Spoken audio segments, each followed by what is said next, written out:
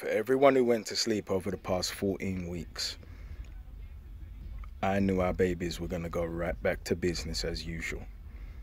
So now we are presented with a unique opportunity, and it's a finite opportunity because while we're in a modicum of self isolation, we can find our backsides collaborating in the schools to industry pipeline. So when the government asks us, central government, let's not waste time with councillors or any of these small funding agencies who can't do anything for us and have no agenda to.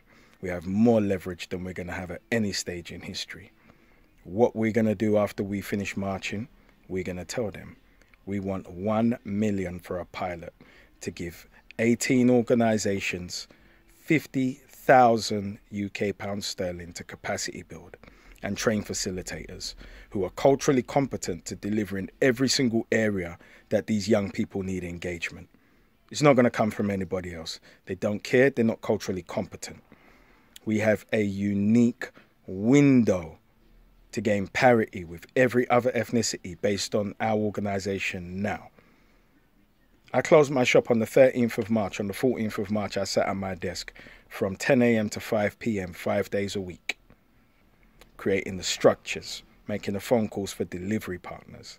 Yet we are 3 million in the United Kingdom, so we always need more qualified and culturally competent delivery partners.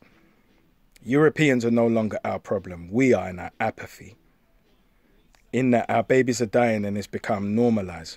Well, you know what? We had a hiatus from it and we forgot just how heinous it is when a family is ruined because a life is stolen. There's no sense in me speaking to young people with no house training, who've got no code, no self respect whatsoever, that they try and barge into somebody's house to kill a young man in, trying to burst past his mother over a £90 weed debt. So it's clear our young people who are criminalized have no house training. See, it's not the fact that the vast majority of our children are beautiful and doing exactly what they're supposed to. It's those who are on the fringes that we need to circumvent from getting to that position. And that's done with early intervention, rites of passage, mentors in the school, having the correct advocates to go into the school and protect them against the school, because everything decent in them is stripped away by the time they get to the age that they can take somebody else's life. And we're responsible for that. We have a unique window to organize. And if it's not this, like Dave Chappelle said, ratty tat tat tat tat, we're getting right back to business as usual. But let me ask you a question. Are you prepared to lose your child?